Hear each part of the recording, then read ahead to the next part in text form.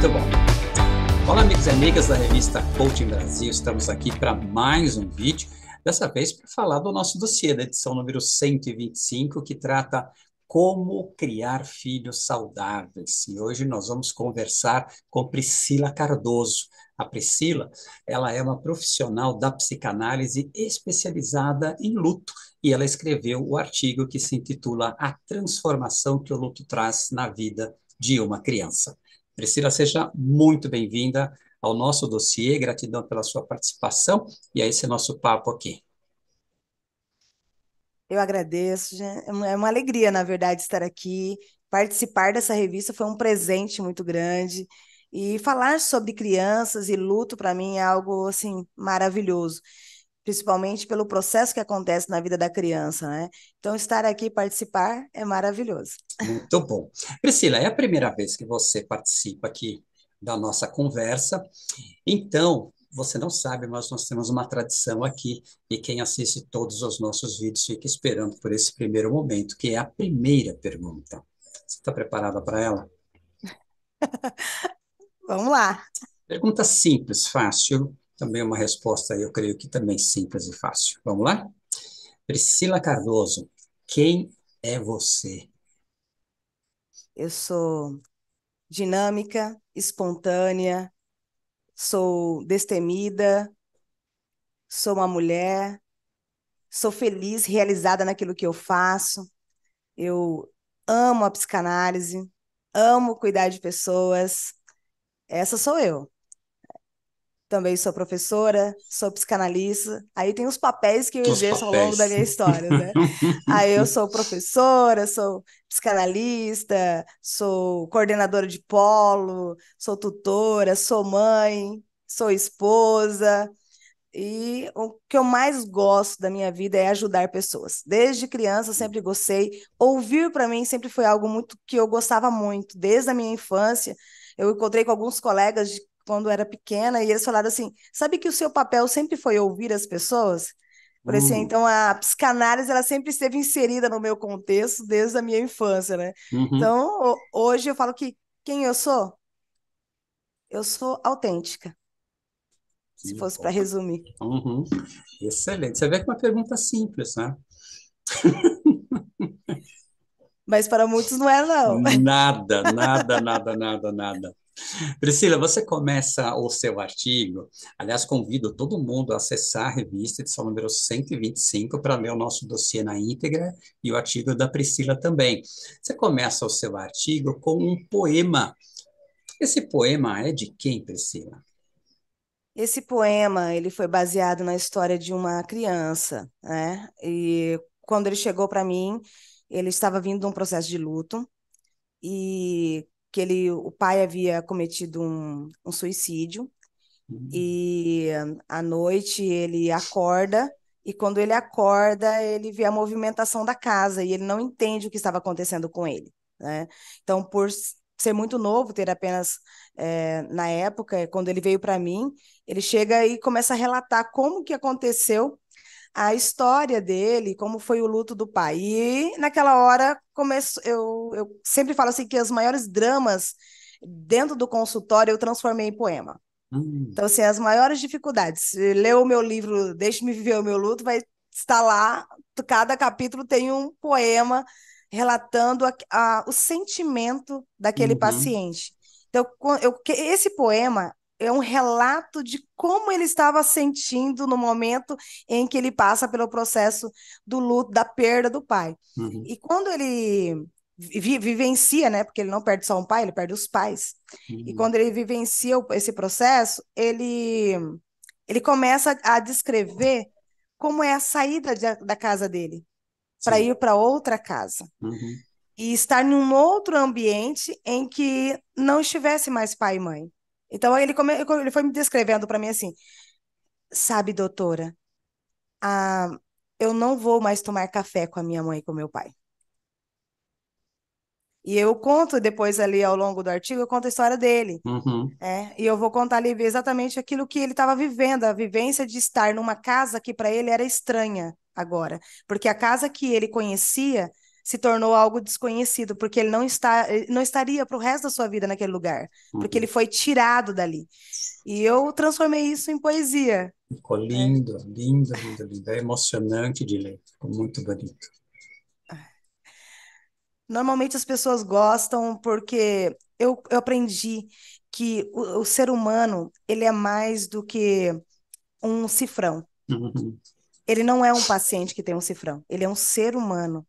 E nós precisamos descobrir a essência da, do ser humano. Onde está a dor dele? Ou como que ele está sofrendo?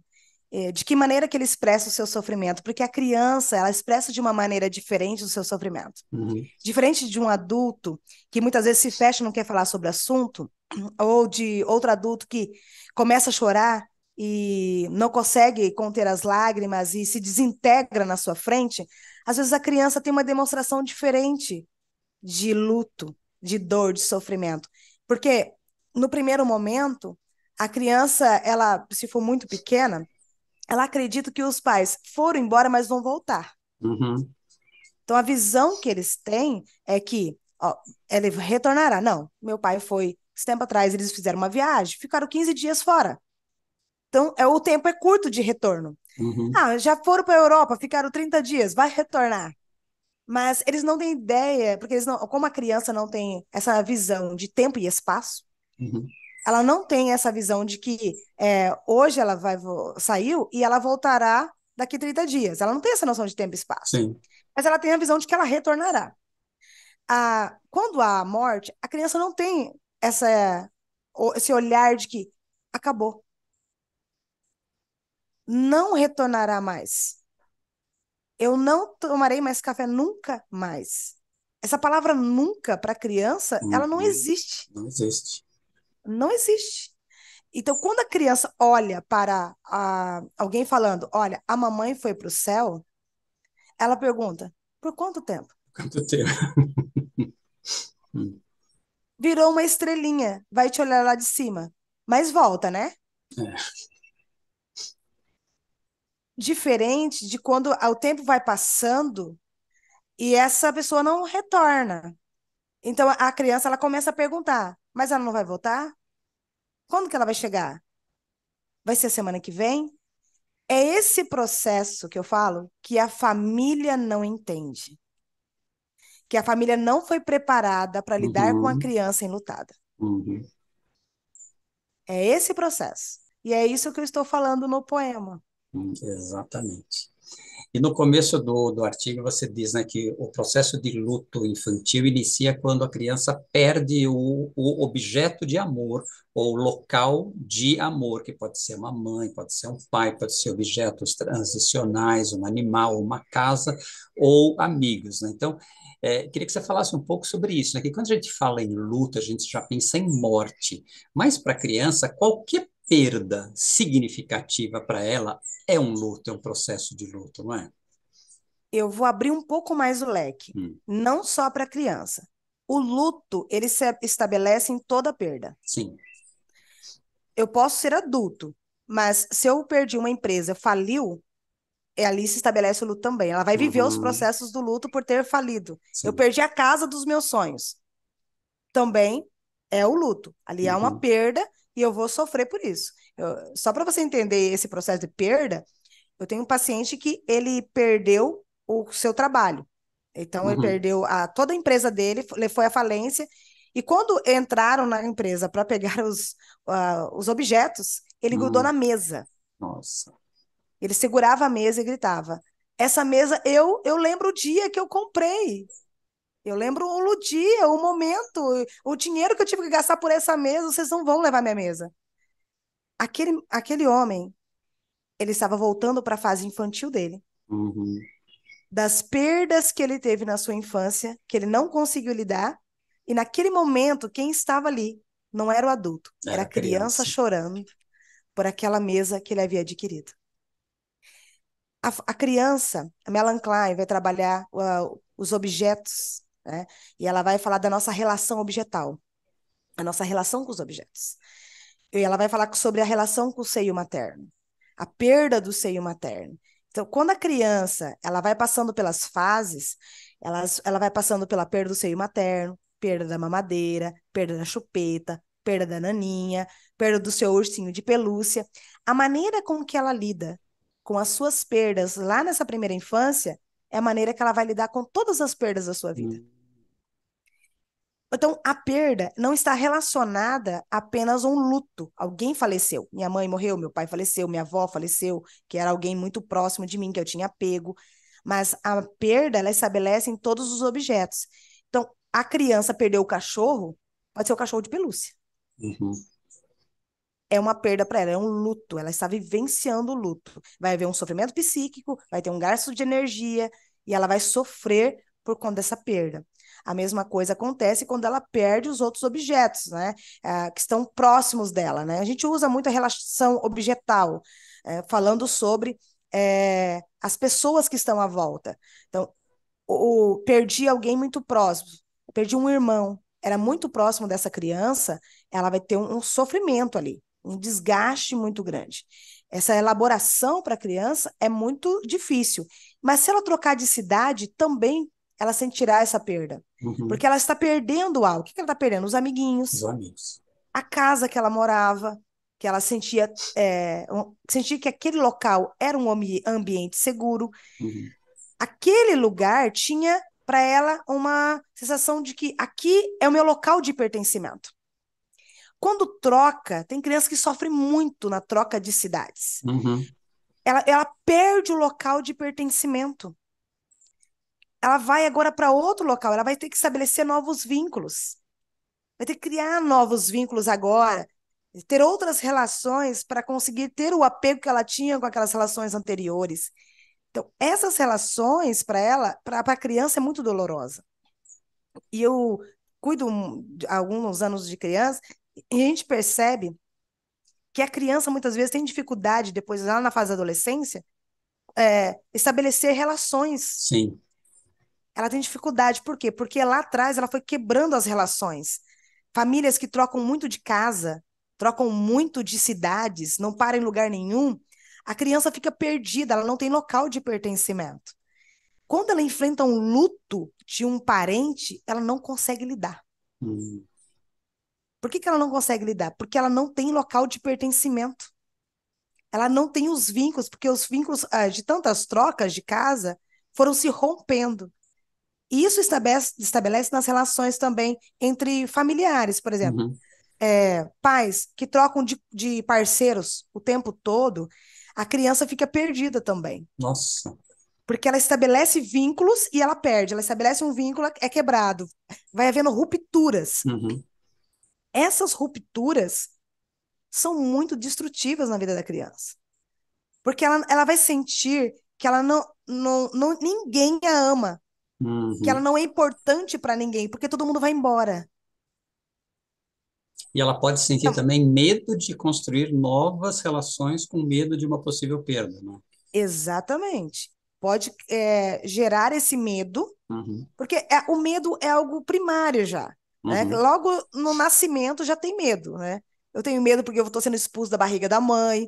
Depois eu, eu tenho medo de perder o seio materno, eu perco esse seio materno. Depois eu tenho medo de perder a, ali o olhar da mãe, né? Aquela relação simbiótica, quando ela. Uhum. A, a, essa desvinculação né, nessa relação simbiótica. Também tem todo esse medo, porque aí vem a insegurança. É, tudo vai sendo gerado, as emoções vão aparecendo ao longo das nossas trocas de, de ciclos, né? Vai, a gente vai tendo outras emoções que vão aparecendo, né? Vai aparecendo a insegurança, vai aparecendo fra o fracasso, a sensação de ser abandonado. As emoções elas vão aparecendo ao longo da nossa história. Mas esse medo primário, ele vai aumentando ao longo se eu não tenho uma estruturação familiar. Eu vou e aí o que acontece? Eu, eu tenho muitas perdas. Eu crio um vínculo com alguém, há uma ruptura. Crio um vínculo com outro, uma ruptura. Aí eu tenho medo de criar outra, porque vai que eu perca. Uhum. E é por isso que, na, quando chegamos na fase adulta, nossos consultórios enchem de pessoas com a mesma dificuldade de criar um laço com alguém, né? formar alianças com alguém com medo de se frustrar. Ah, eu tenho medo, porque se eu criar uma aliança com essa pessoa, essa pessoa vai embora. Por isso, muitas pessoas, até quando vai para terapia familiar ou terapia de casal, ela tem dificuldade de se abrir para o outro, de se entregar ao outro, Uhum. entregar a uma relação amorosa, tem dificuldade de se entregar a projetos, porque essas, essas rupturas na infância, elas não geram só um problema é, num, dentro de um casamento, de uma relação amorosa. Ela vai gerar um problema também no trabalho. Porque chega no trabalho, ela não consegue se lançar no trabalho, com medo de perder esse trabalho. Uhum. Então, eu não vou me dedicar 100%, eu não vou dar tudo, tudo que eu tenho, toda a minha máxima. Por que, que eu não vou dar? Porque qualquer hora eu posso perder. Exato. Eu posso perder. Quando eu olho para isso, a gente volta. Onde está toda essa questão? Na infância. Na infância. Sabe Sim. que quando eu li o seu artigo a primeira vez, né, assim que ele chegou, é, foi inevitável eu ficar pensando na minha infância é, e na minha relação com, com o luto, né? como é que foi descobrir que existia uma finitude, como é que, que sim, as coisas acabavam, que pessoas morriam. E aí, para mim, foi, foi ficando claro as histórias que minha mãe contava, que quando ela era pequena, o avô dela morreu, e aí, naquele tempo, ainda tinha o velório em casa, então ela lembra nitidamente do caixão, do avô. Então, assim, desde pequeno, eu ouvia histórias assim, então eu sabia que as pessoas morriam, sim, até que eu me lembro, não consigo situar bem a idade, mas acho que era entre quatro e cinco anos, é, que no momento me bateu um medo muito grande da consciência de que eu ia perder os meus pais. Então, assim, eu sabia que eu ia um dia eu ia perder, perder os pais. Agora, por sorte minha, efetivamente, eu só fui vivenciar um luto, que foi da minha avó, quando eu já tinha 23 anos. Né? Então, eu não tive um luto infantil. Agora, eu fico imaginando como é que é para uma criança que, vamos dizer assim, teoricamente ela sabe que tudo acaba, mas quando ela se depara com a prática, com o fato, e aí? Então, no caso desse menino, ele não conseguiu expressar em palavras. E o que aconteceu com ele?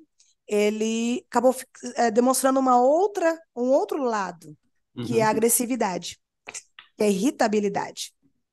É, é, o fundo de tudo isso é outra emoção primária, uhum. a raiva. Né? Eu estou com raiva porque eu perdi alguém que eu amava. E às vezes essa raiva ela é externada para as pessoas. No caso isso tem a ver, só para fazer uma correlação, isso tem a ver com aquele ciclo, primeiro a negação, depois vem a raiva e coisa e tal, até vir a aceitação?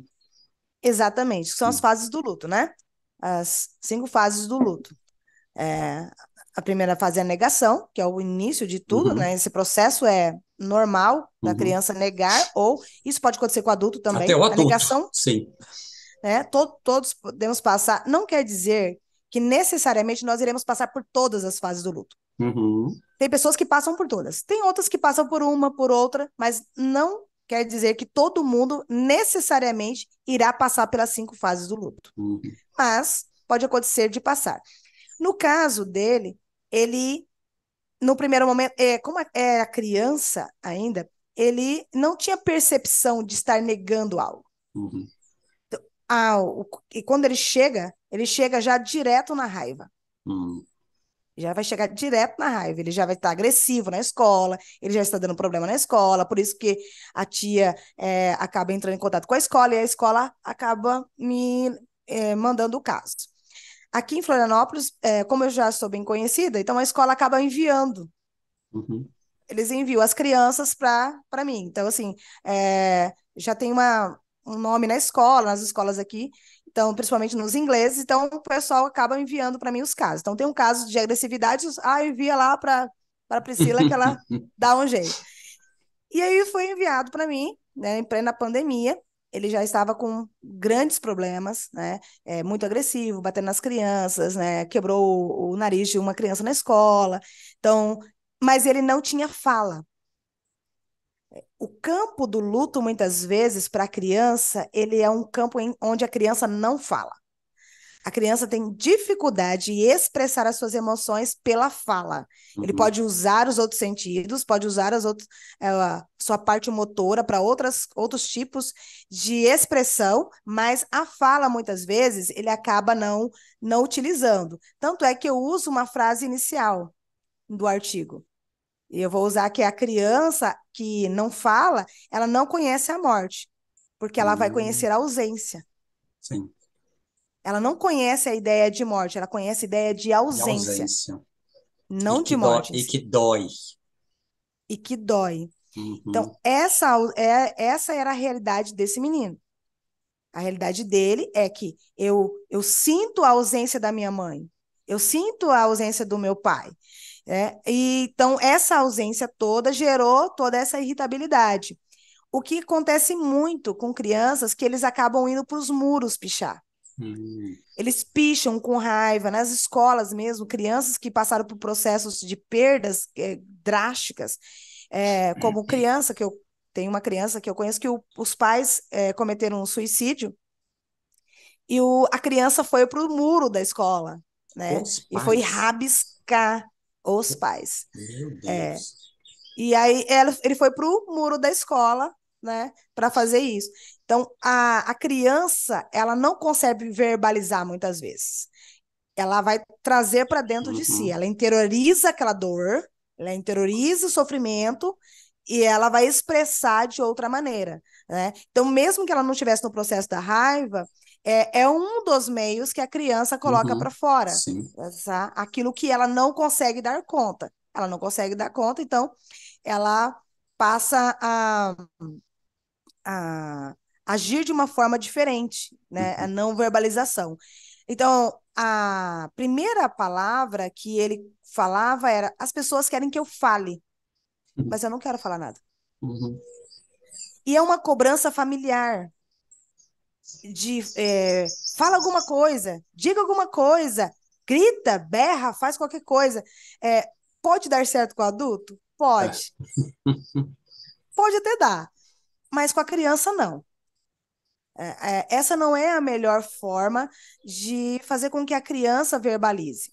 né? É, fale alguma coisa, diga alguma coisa. Então, havia uma cobrança, e uma cobrança assim, tá, já deu. Sorria um pouquinho. Olha, a vida é bela. Olha, as- os seus pais não, é, não estão aqui, mas você está vivo. Coisas que a família falava para ele, que ele expressou dentro do consultório. Uhum. Então, coisas que eram ditas, que era uma cobra, ele, ele sentia que era cobrado uma felicidade que ele não tinha. Exato. Então, é, e uma frase que ele sempre falava era: Eu não quero sorrir. Eu não quero sorrir. Eu não quero dar risada. Eu só queria que as pessoas me deixassem quieto Uhum. no meu canto. É a única coisa que eu quero. Doutora, você pode pedir para eles deixarem eu quieto? Eu só quero ficar quieto. Respeitar o silêncio da criança é importante. É importante. É o processamento do luto dele, né? Porque o luto, ele é o quê? Quando nós pensamos em luto, nós pensamos em desorganização. Uhum. A nossa psique está num caos. É muita emoção vindo ao mesmo tempo. É muita coisa. É, é duro da criança processar tudo isso. É um caos. E qual é a função nossa? A função nossa tem que ser a função alfa, né? Que Bill vai falar sobre a função alfa. Que eu preciso ser aquela aquela pessoa que está ali cuidando, a tia, o tio, o avô, a avó que está cuidando daquela criança, e até o analista que está ali conduzindo o processo, ele tem que aprender a acolher a criança, ser continente, conter o caos daquela criança. Uhum. O que, que o analista precisa? Ele precisa entender que aquela criança está numa desorganização psíquica, como um bebê, que a mãe está no quarto e o bebê está no outro. E aí a mãe está ali no quarto ela escuta um gemidinho. Ela já fica atenta e corre para o quarto. Chega lá, ela, a criança chorando. Ah, chorando, chorando. A mãe vai, olha para aquela criança, pega aquela informação que chega, aquele choro entra no ouvido da, da mãe. Ela transforma aquele choro, ela interpreta aquele choro, ela diz: está com fome. Uhum. Está sujo. Está com calor. Precisa de um banho. Está com cólica. Eu vou colocar um paninho quentinho aqui na barriguinha. Tá com manha. Só que é o colo da mãe. E devolve para a criança. E ela pega aquela criança. O que, que ela faz? Ela pega aquela informação que entra no seu ouvido, transforma, dá um nome e devolve para a criança. Só que agora com um novo significado. Isso é o processo que nós temos que fazer nas nossas casas quando alguém está em luto. Conter aquela dor. Transformar, dar nome para aquela dor, aquele sofrimento que está passando. E devolver de uma maneira acolhedora e amorosa. Quando a criança se sente acolhida, contida, ela sente pertencente a alguém. E ela vai começar a abrir espaço para criar novos vínculos. Que até então ela havia perdido. Mas agora ela abre um espaço para criar um novo vínculo. Por quê? Porque ela está vivendo um momento muito doloroso. E, então, nós ouvimos muito é, essas frases, né? Seja grato. Você ainda está Uhum. vivo, você nem morreu com seu pai, você não estava no carro. É, e essas frases caem hoje na caixinha da positividade tóxica, né, que a pessoa fala. É, e uma frase que é destrutiva, muito tóxica mesmo, é aquela: você ganhou uma família nova. Que ótimo. Que Mas quem disse que eu queria uma Pois família é. nova? Pois é. Eu só É quero a como se... velha de volta. Exatamente, eu Hum, queria a velha, a velha que eu gostava. Era ali que eu me sentia pertencente, é ali que eu aprendi uhum, a, viver. Todos os meus laços estão ali, eu não quero uma nova. uhum, E isso é, é algo que eu falo até no meu Instagram, eu falo sobre isso, coisas que você não deve dizer para quem está em luto. uhum, né? São palavras que você não pode dizer, né? É, porque quando você dá essa, essa conotação de família nova, né? O que que você está dizendo para a criança? Ó, para de sofrer. Você já foi uhum, compensado por uma família nova. exato. Para de sofrer. É Deu, como né? se Deu, deu, né? Já tá bom, deu. né? É, o que que, na verdade, a, quem está fora está dizendo para essa criança em luto? Está dizendo assim: ah, eu não dou conta de ficar vendo Eu você não dou, chorar. exatamente. Eu não sei lidar com isso. É. É, eu não consigo mudar, eh, lidar com, com o seu sofrimento. Uhum, Então, assim, para de sofrer, porque quem não consegue lidar sou eu. exatamente. Exatamente. Eu que não consigo lidar. É. E, na verdade, eu, nós deveríamos estar preocupados em ajudar essa criança. Uhum, E não preocupados conosco mesmo. Aí eu falo assim: nós somos tão narcísicos que a gente só se preocupa com a gente mesmo. Não é? Tão narcísico que a gente só preocupa com. Ah, eu não consigo lidar com isso. Mas não é uhum, sobre mim, é sobre o outro. exato. E é um tipo de julgamento também.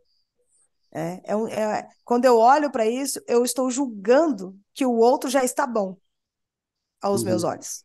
Já está bom, já, sofrimento já deu, já está bom, é, então não precisa sofrer tanto assim. uhum. Mas o processo de, de luto, ele pode durar uma vida toda. É individual, né? Sim. Pode durar uma vida toda. Então, se, você pega uma criança, né, eu tenho criança, adultos hoje que eu trato de 40, 50 anos, que não conseguiu lidar com a, com a morte do pai quando tinha, quando tinha sete. Uhum, Porque o luto, ele transcende o tempo. uhum, Ele está além do tempo. Então, essa, essa dor, ela é, um, é uma marca que fica na sua história. E essa história de que eu sempre ouço, assim, é uma, uma palavra assim, não, mas é, quando que eu vou me sentir curado do luto? uhum, Nunca. Não tem como eu substituir essa pessoa que foi embora. uhum. Não tem. Tem como substituir? Não Não. tem. Tem como pegar e dizer assim, eu vou trazer o novo pai para você? É, é Tá. substituível? Essa posição, este lugar que ele ocupava, que está vazio, não se ocupa mais. Aquele lugar vazio continuará vazio para o resto da vida. Não tem como eu retornar, colocar alguém, algo no lugar. Ah, vou colocar isso aqui no lugar. Não, não dá. Simplesmente não dá. Eu posso colocar.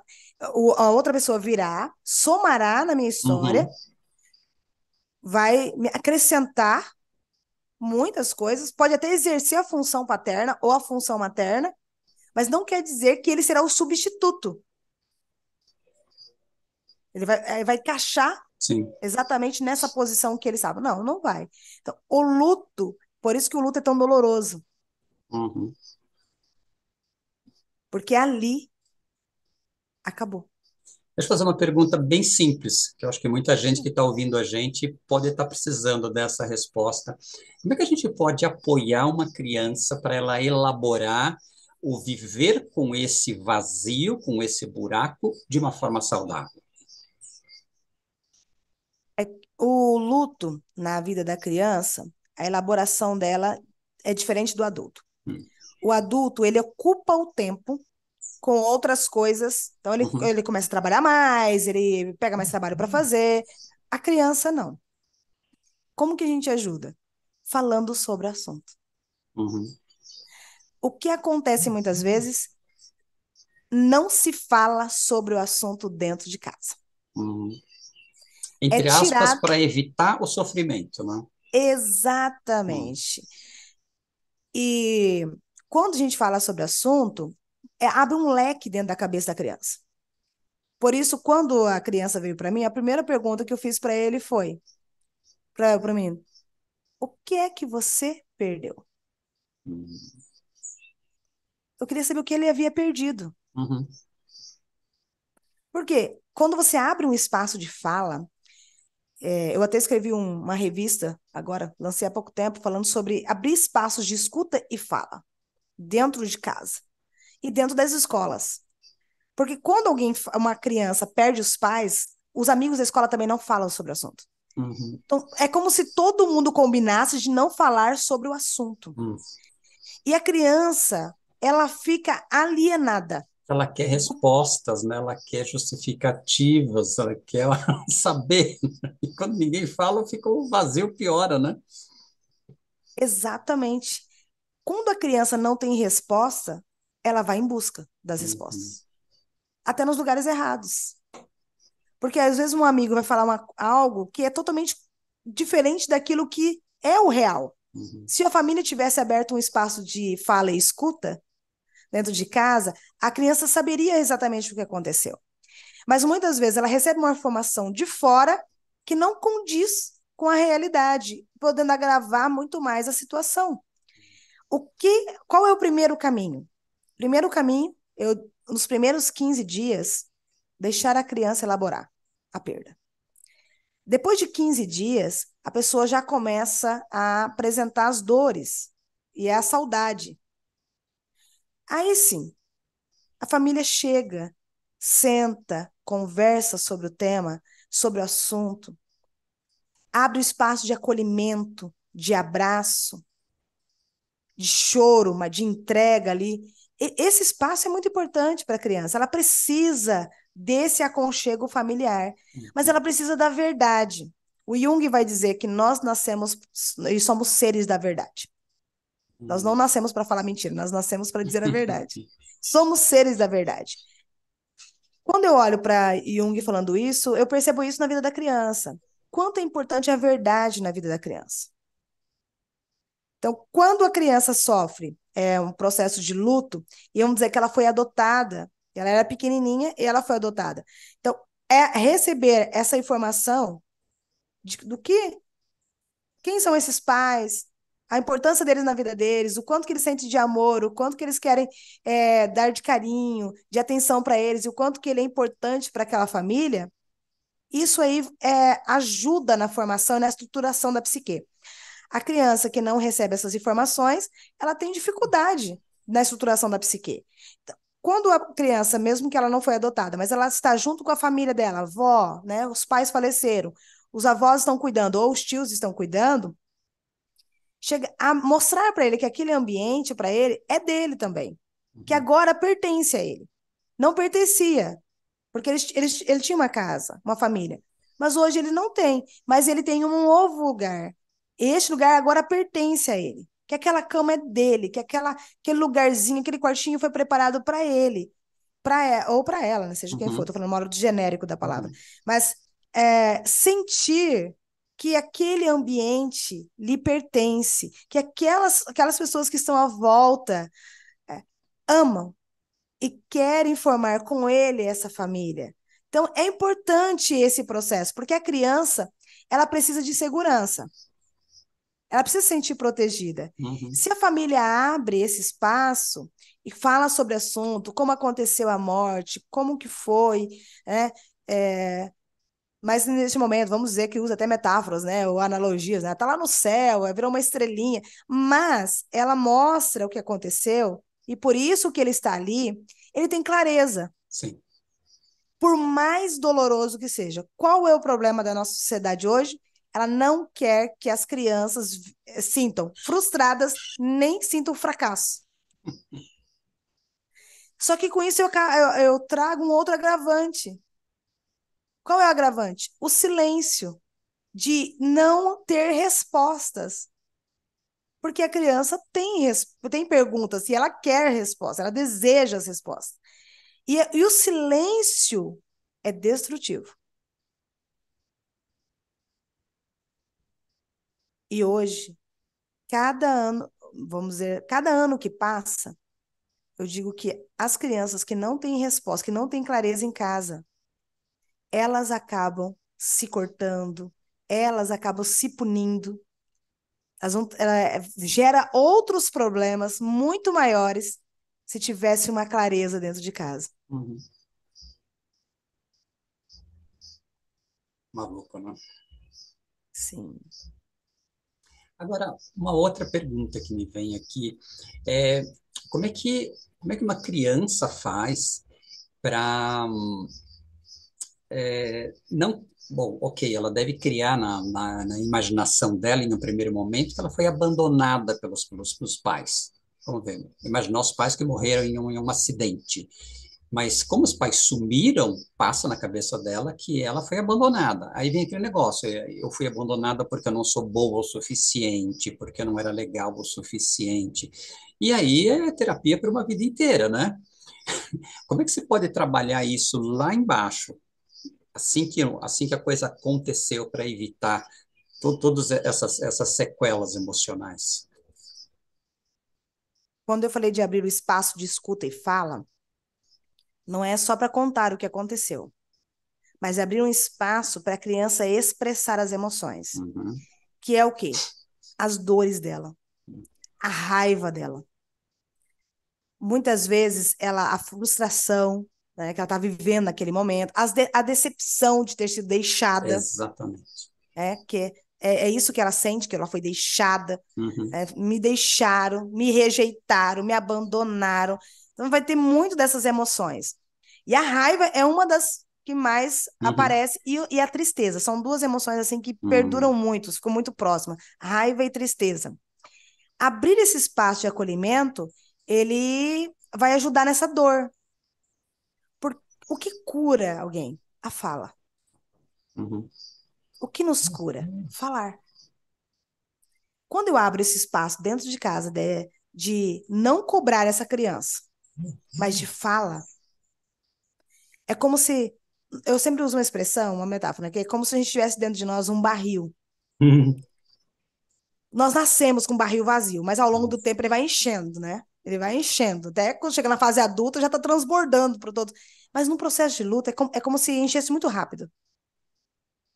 Aquele barrilzinho encheu. E como é que eu tiro aquilo que está dentro de mim? Falando. A fala faz isso. O que, que a criança faz, na maioria das vezes, quando ela vai para a terapia? Falar. Ela fala com o brinquedinho, porque a gente usa muita ludoterapia. Sim. Uhum. Então, o que, que ela vai usar? A gente vai usar? Fala. Ela tá o tempo todo, ela tá falando com os brinquedos, ela tá falando com as bonecas, ela tá falando com, com, com, a casinha, ela, ela fala com as paredes, ela pega o carrinho, ela tá falando. O tempo todo ela está falando, ela tá expressando. Essa fala tem que ser aberta dentro de casa. Então, como que vai, uh, eu posso viver um luto saudável sem transformar numa melancolia? Que é mais que é o patológico do luto, sem que isso ocorra. Abrindo espaço de fala. Deixa a criança falar, expressar toda a raiva dela, do que ela sente. Mas muitas vezes o que, que é, é feito dentro de casa? Tá, já deu. fica quieto. Tá bom, tá bom, você já falou tudo? Tá, tá, tá, tá, tudo bem. Ou eu tô no celular e a criança tá falando. É como se a criança não sentisse autorizada para expressar aquilo que ela sente. Uhum. E quando ela expressa alguma coisa que socialmente é inaceitável, ela é castrada, Castrada. ela é reprimida. Uhum. Ou ela é castrada ou ela está sendo reprimida. Ela não tem espaço. Então, sempre é assim: a criança chora, engole o choro. Uhum. Em todo momento, a criança não consegue expressar as emoções. Quando a criança sai esbravejando, ela está colocando para fora aquilo que ela está sentindo. Tem que deixar isso acontecer. Dá liberdade para ela colocar para fora. Quando ela está batendo em algo, ela está colocando para fora aquilo que ela está sentindo. É, é claro que tem que haver uma condução nesse processo. Uhum. Como que normalmente a gente coloca? A gente coloca uma almofada. Soca a almofada. A criança soca, soca, soca a almofada. É um modo é, que ela consegue expressar o que ela está sentindo e ela coloca para fora.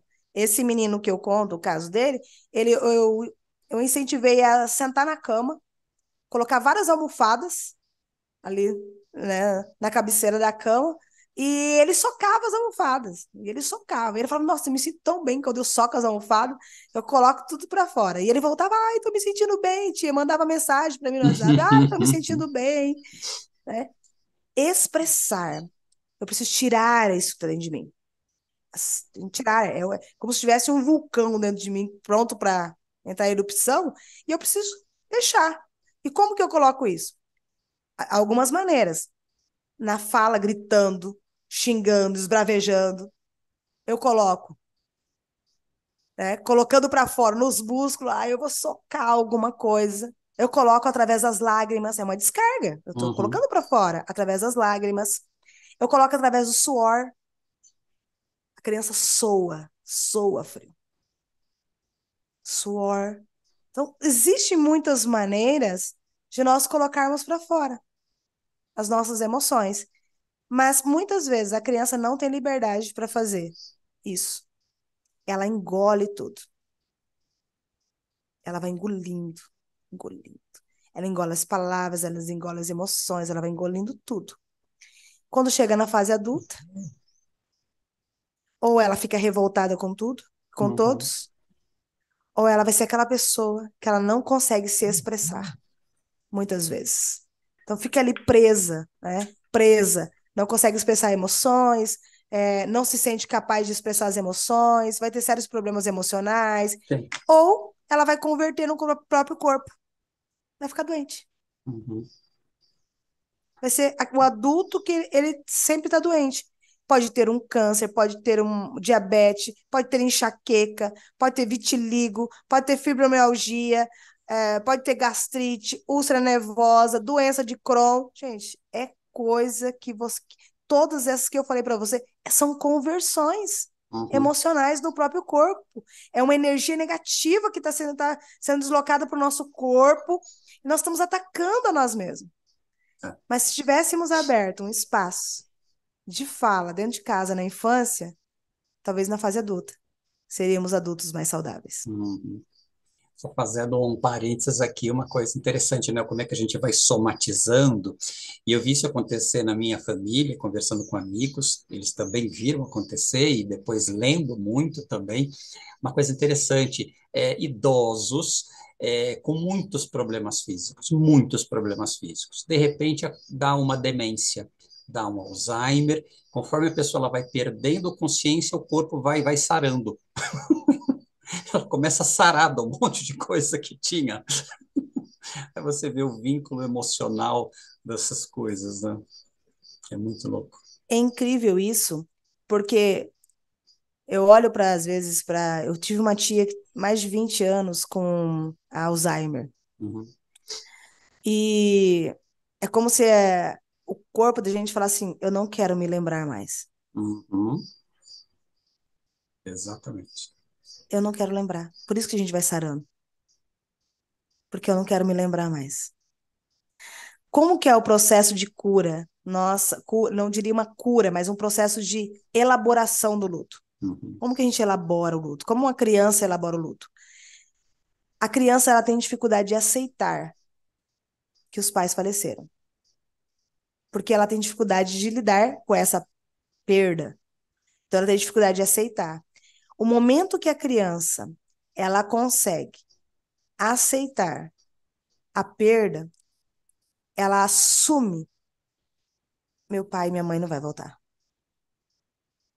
Então, quando aquela, aquele menino que eu é, estava tratando, ele, quando ele não assumiu essa perda, ele não conseguiu abrir para novos relacionamentos, para ele não conseguiu nem se abrir para parar de brigar na escola. O dia que ele assumiu aquilo e ele aceitou a, a nova vida, ele começou a investir em outras coisas. Aí a libido dele foi deslocada para outras coisas. Uhum.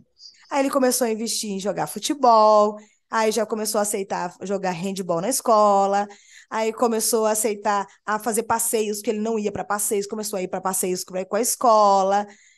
E ele começou a aceitar a tia, começou a olhar para a família dele diferente, mas houve um processo que tínhamos que trabalhar a família, né, de a família sentar, conversar, falar com ele, né, explicar a nova realidade, abrir o espaço para ele, para um novo local de pertencimento, um novo lugar para ele se sentir amado. Tudo isso precisou ser feito para que ele pudesse agora tirar o olhar da dor que ele estava vivendo para ele começar a olhar por um outro olhar, pro com meus olhos estavam voltados para mim, agora eu vou olhar para fora. Uhum. Primeiro, totalmente interno, agora eu estou olhando para o meu externo agora.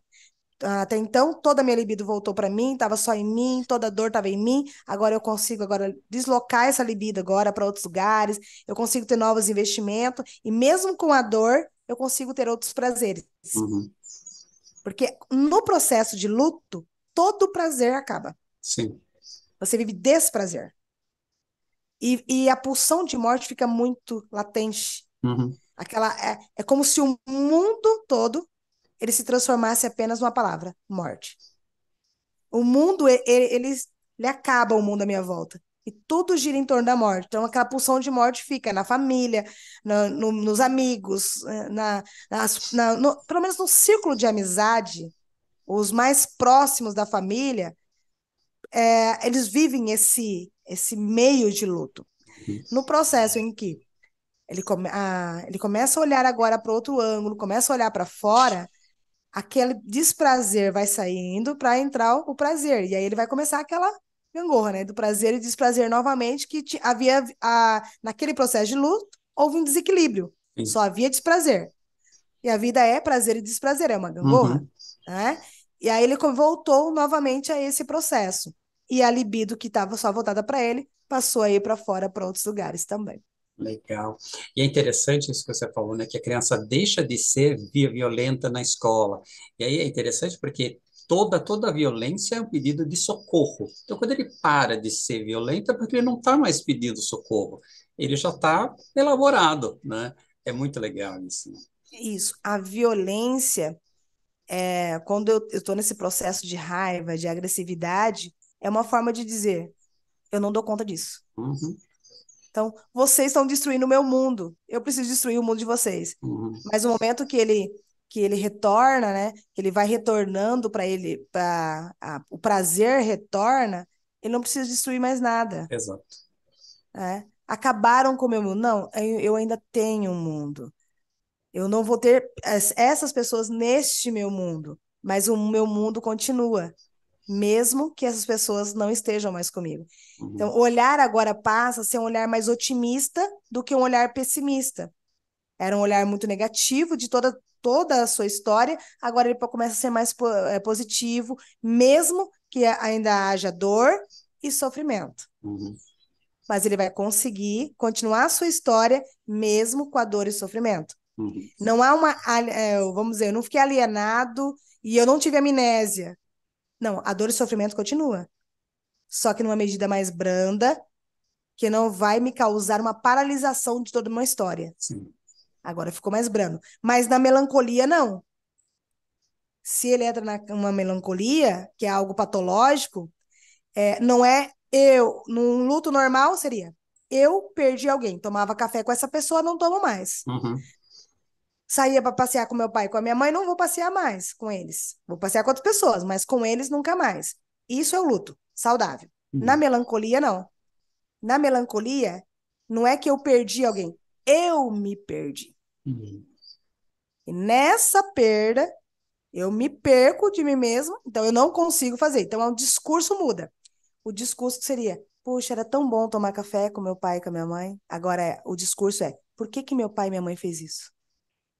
Por que, que eles me abandonaram? Um discurso de quem perdeu a si mesmo. Uhum. Por que, que eles fizeram isso comigo? A minha vida acabou por causa, por causa deles. Discurso de alguém que se perdeu. Uhum. É diferente de outra criança que ela vai falar: Poxa, eu gostava tanto de passear com a minha mãe. Nossa, eu gostava quando ela me colocava no colo. Discurso de alguém que está em luto. Mas ele não perdeu a si mesmo por conta desse luto. Retrazer essa criança melancólica pra, para o estágio é restaurar o eu que ele perdeu. É o que, que o, um analista vai fazer? Restaurar o eu dele que está perdido. Esse é o processo. Uhum. Priscila, para fechar nosso papo aqui, de todas as conversas que eu tive com todos os nossos autores desse nosso dossiê falando de criança, né? Quando, quando se fala criança fazendo análise, criança fazendo terapia, parece absolutamente lógico que os pais ou tutores também façam. Mas isso nem sempre acontece, né? Não. Na verdade, era necessário. Eu digo assim, que era fundamental que todo pai e toda mãe fizesse análise. Uhum. Todo mundo fosse fazer análise. Por quê? Imagina uma criança, ela é fruto do meio. Uhum.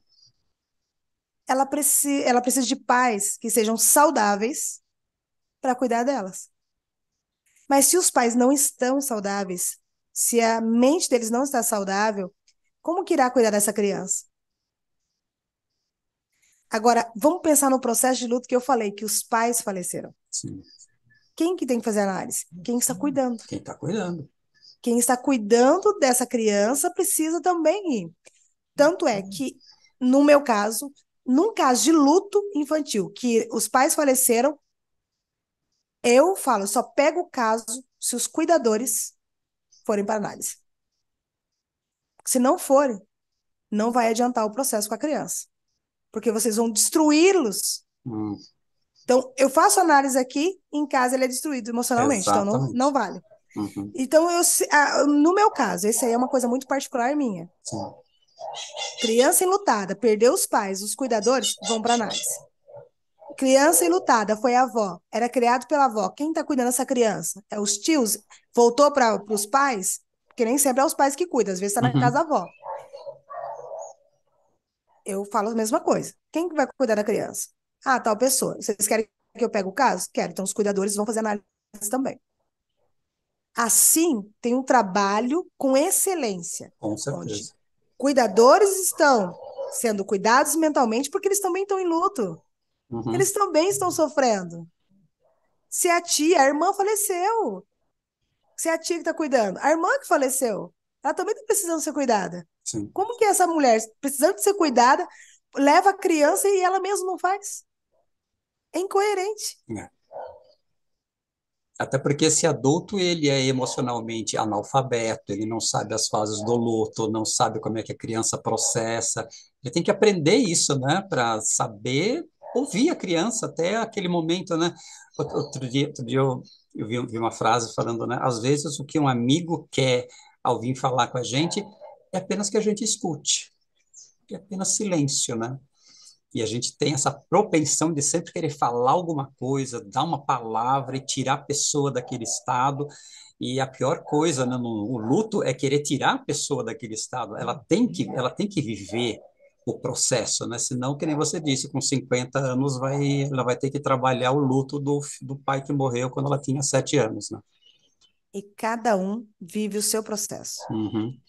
Não podemos apressar as coisas, porque cada um tem seu processo. Tem pessoas que um mês tá, já está ótimo, já consegue lidar com, elaborar todas as suas questões. Tem gente que demora dois anos. Exatamente. Tá tudo bem. Cada um vive o seu processo. A dor é sua, particular sua, elaboração sua também. Eu não posso achar que o outro é eu. Uhum. Que a elaboração do outro será da mesma forma que a minha. Não é assim. Muito menos com a criança. Elaborações diferentes. Tem criança que sai correndo, brinca até na, do lado do caixão. Uhum. Tem outros que se desintegram quando estão lá. Sim. Tem outros que naquele momento tá brincando, depois, daqui a pouco começa a sentir a, a falta. Uhum. Cada um vive a sua dor de uma Cada maneira. um. Eu preciso aprender a escutar. Eu, você falou sobre um assunto. Sabe qual é a maior dificuldade do ser humano hoje? Hum. Escutar o outro. Escuta. A gente não quer ouvir ninguém. Karnal falou sobre isso. Ninguém quer ouvir ninguém. Imagina ouvir uma criança. Não é? E aí que eu falo que está dois pontos: empatia e acolhimento. Uhum.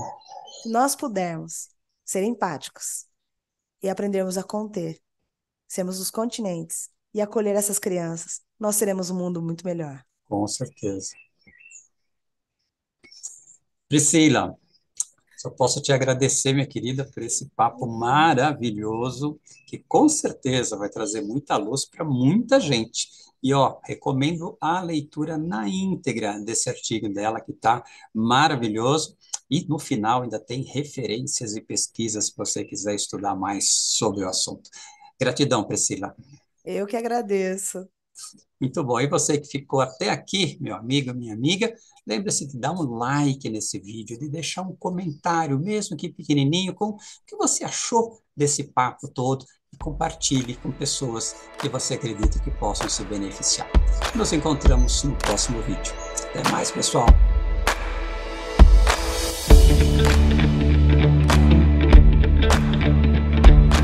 E aí, gostou desse vídeo? Se esse vídeo fez sentido para você, a reciprocidade que eu te peço é você curtir esse vídeo, deixar um pequeno comentário e compartilhar esse vídeo com outras pessoas que também, assim como você, se interessam pelo desenvolvimento humano. Inscreva-se no nosso canal para receber mais atualizações sobre novos vídeos que estamos fazendo. Se você busca conteúdo de qualidade sobre desenvolvimento humano, considere assinar a revista Coaching Brasil. Estamos há 10 anos no mercado, 121 edições, muitos temas que vão agregar muito valor à sua carreira, ao seu pensamento, às suas reflexões. Venha conosco. Como assinante premium, você pode acessar todas as nossas edições e você paga apenas R$ 29,90 por mês.